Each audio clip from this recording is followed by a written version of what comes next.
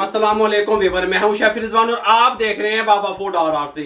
Ramzan मुबारक में अफ्तारी के टाइम पे कुछ यूनिक खाने को दिल चाहे टिक्कियाँ खाने को दिल चाहे, आपके, आपका दिल चाहे कि कुछ ऐसा बनाया जाए कि दस्तरखान की शान बढ़ जाए। आप इसको टिक्कियाँ भी कह सकते हैं, आप इसको कटलट भी कह सकते हैं, आप इसको कबाब भी कह सकते हैं। लेकिन ये किस चीज़ के बनेंगे? बंद गोभी के बनेंगे। बंद गोभी के कटलट, कबाब, टिक्कियाँ आप रमज़ान शरीफ में अफ्तारी के टाइम किस तरीके से तैयार कर सकते हैं? खस्ता टेस्टफुल किस तरीके से बनेगी मेरे भाइयों? आसान अल्फाज में बताने वाला हूँ। तो से देखिएगा। मैं आधा किलो बंद गोभी का फूल लाया, उसको सलाद कटर की मदद से इस तरीके से मैंने सलाद कटर में से निकाल लिया, इस कंडीशन में आ गई जिस तरीके से आप जिंगर बर्गर में लगाते हैं। इसके साथ का एक बॉल ले लिया, इसके अंदर हम बंद गोभी को शामिल कर देंगे, कोई मसला नहीं बनेगा अलहमदुल्ला इसके अंदर हम नमक लगाएँगे, ठीक हो गया? सबसे पहली चीज़, क्योंकि जो बंद गोभी होती है, ये जायके में जो इसकी, इसका मिजाज है मुख तरफ़ करना, जो इसका मिजाज है, जायका है, थोड़ा तुर्श होता है, खट्टा होता है। हमें अपने कबाब में तुर्शपन नहीं चाहिए, सेहत के लिए बहुत अच्छी होती है। इसके अंदर वन टी भर के नमक का लगाएँगे। नमक थोड़ा सा और लगा देंगे। नमक हम इसलिए लगाएँगे ताकि ये नमक जो है ना, ये पानी छोड़ेगी और हम इसके पानी को रिमूव करेंगे, नचोड़ेंगे और ये नरम भी हो जाएगी। नमक लगा के हम इसको ऊपर से कवर लगा देंगे। दस मिनट के लिए छोड़ देंगे। दस मिनट के बाद आपसे मिलते हैं। दस मिनट के बाद हम क्या करेंगे? अच्छे तरीके से गोभी को निचोड़ लेंगे। इस तरीके से ये देखें, पानी छोड़ दिया इसने सॉफ्ट हो गई। अच्छे तरीके से निचोड़ लेंगे और यहाँ पे ले आएँगे इस तरीके से खोलते हुए। बंद गोभी को निचोड़ने के बाद इस तरीके से हम इसको खोल लेंगे, कोई मसला नहीं है। चॉप की हुई प्याज है मेरे पास टू टेबल स्पून चॉप की हुई प्याज शामिल कर देंगे।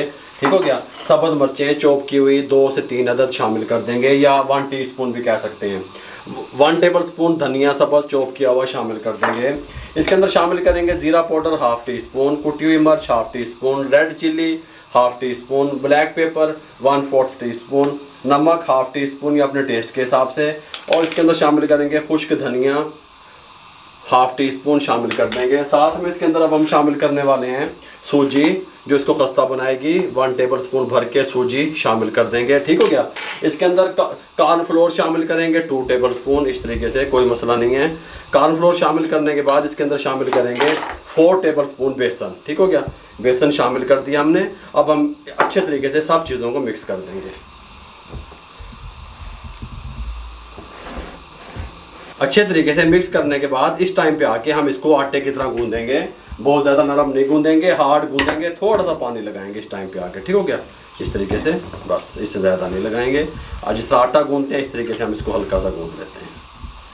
हमने इसको हार्ड गूंद लिया इस तरीके से। यहाँ पे एक हमने बॉल ले लिया, इसके अंदर थोड़ा सा कुकिंग ऑयल शामिल कर दिया तो एक यहाँ पैन ले लिया, इसके अंदर हमने कुकिंग ऑयल शामिल कर देना है हल्का सा हमने इसको शैलो फ्राई करना है, ठीक हो गया? डीप फ्राई नहीं करना।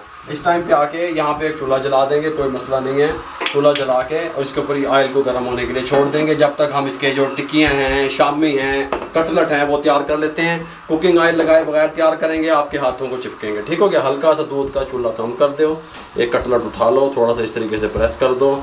छोटा या बड़ा साइज़ आप अपने हिसाब से देख सकते हैं। कोई मुश्किल नहीं है, कोई मसला नहीं है। इस तरीके से इस हाथ से भी बना सकते हैं। इस तरीके से इसको प्रेस करेंगे और इस तरीके से आप देखें।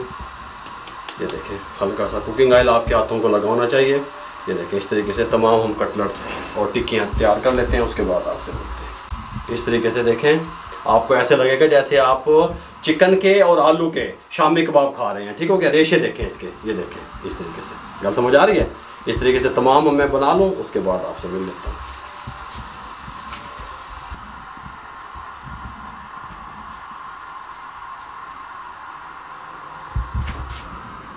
तमाम टिक्कियाँ हमने तैयार कर ली। हल्का सा आयल आपके हाथों को लगा होना चाहिए, नहीं तो ये चप, चिपकते रहेंगे। यहाँ पे शेप दे सकते हैं। दोबारा से आप इसको गुलाई की कोई मसला नहीं है। बिसमीम आयल हमारा गर्म है, लेकिन फुल गर्म नहीं रहेगा। ये बात भी जहन में रहे। ठीक हो गया? तमाम अपनी टिक्कियाँ, कटलट, कबाब यहाँ पे आयल में हम डाल देंगे। इनका जो फ्राई टाइम है, पाँच से छः मिनट रहेगा। फ्लेम को हमने पहले मीडियम था। मीडियम से थोड़ा सा कम रखा। ठीक हो गया? और एक मिनट के बाद हम इनकी साइड चेंज करेंगे, फ़ौरन नहीं करेंगे। ये बात ध्यान में रहे एक मिनट के बाद आपसे मिलते हैं। एक मिनट के बाद साइड को चेंज करेंगे। बिस्मिल्लाहिर्रहमानिर्रहीम। सुबहान अल्लाह हैं। हल्का सा प्रेस कर देंगे। ये कंडीशन आप देख सकते हैं। अगर आँच तेज़ रहेगी, ऊपर से कलर आ जाएगा, अंदर से कच्चे रहेंगे। कटलट, टिक्कियाँ, कबाब। गल समझ आ रही है? हल्का हल्का प्रेस कर देंगे।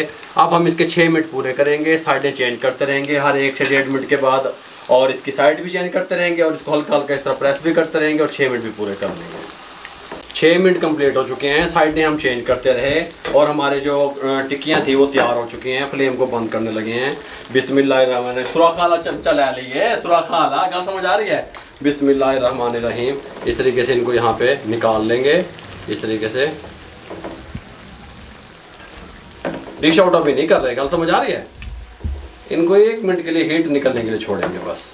ये बात जहन में रहे आपके। ये रही बिस्मिल्लाहिर्रहमानिर्रहीम, धनिया और पुदीने वाले रायते के साथ इसको सर्व करेंगे।